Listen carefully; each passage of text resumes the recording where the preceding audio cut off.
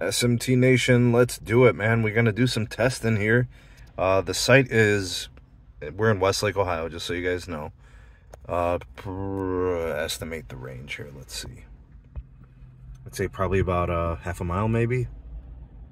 Mm, yeah, I'd say it's about a half a mile. Let me see if I can get you guys a decent zoom.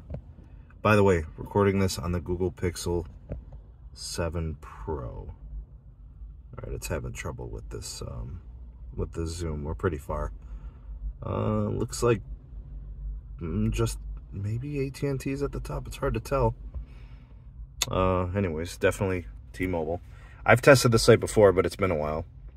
All right, so we're going to test it on the iPhone 14 Pro Max right here. The site, I mean, it's it was good the last time I tested it, but, uh, you know, sometimes they do some optimizing, and then sometimes you get some more usage on tower sites. So it's good to test it, come back to them. Yeah, we're over on Detroit Road and Canterbury Road, Westlake, Ohio. Over by the Clean Eats, whatever that is, and great clips and such. All right, 20 ping, 4 jitter, 643 down, 53.8 up. All right, so that's your iPhone. Uh, let's go ahead and just test it on Android here. We got the Google Pixel 6 Pro, 15 ping, 1 jitter, uh, we'll see if the speeds and the capacity and the range and everything is somewhat comparable. Okay, so 643 by 54 on the iPhone, and then 605 by 37, 38 megabits up, 39, 40, almost 40. All right, so they're pretty close. Uh, I will say that the iPhone is a little bit better, uh, with the ping times being a little bit better, I guess, on the on the Pixel. Okay, all right, so uh, just to make it official, let's go ahead and hit the NPerf, and let's see what it's good for. Uh, what I've always liked about the NPerf is it tests a lot of stuff like browsing and video playback resolution and all that. So with the with this, you kind of get a, a nice scope of what it's good for. And this time we got actually a lot more speed on the downlink. Uh, the ping time doesn't mean too much to me relative to this test only because I don't think it's reflective of what it really is. Because for whatever reason, the servers that are selected for on the NPerf just always really bad. So, anyway, signal strength is strong. Uh, performance was pretty fast. So the expectation is that things should be pretty good in testing it for all these different things. All right, so we just got the browsing test done. The speed test was first. And now it's going to do the video resolution playback test and it'll test the 360p, the 720p, and then the 1080p. Oh, dang. We've got an ambulance. Or fire. Let's see. Yep, it's fire.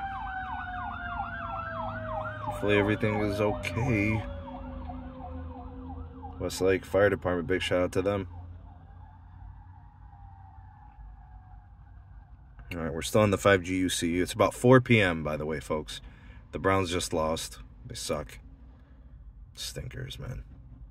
Lost to the New England Patriots. At all the teams. Is there another one coming? I don't know. Same ambulance.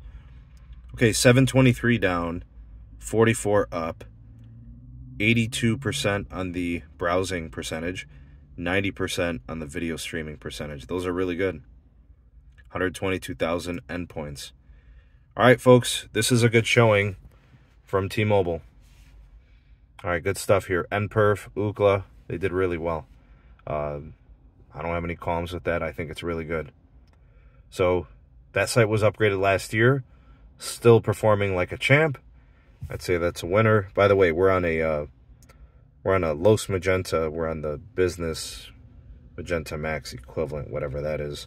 Uh, I'll just go ahead and give you guys the fast.com look. Uh, for those of you who want to see like the on the fast.com servers. So if you had to like download a quick episode of your favorite show before you hopped on a plane or something, you know, what would that look like? Pretty dang good, huh? Wow. I've always wondered the variance that you get out of fast.com. Why is that? yeah, you, it's usually like faster. You get these crazy bursts and stuff like that. All right, good stuff from T-Mobile here. 33 ping, we got 760 megabits down and 63 up. Good showing by T-Mobile. Comment down below What do you guys see on your T-Mobile's 5G UC tests? Are they faster than mine? Are they slower than mine? Based on that range, we're about a half a mile away, so ideal conditions for sure. Uh, but if you were in one of those businesses, if you were getting uh, indoor usage here, I, I think you'd be plenty good. I think you would connect to the 5G UC pretty well, and it seems to be performing well.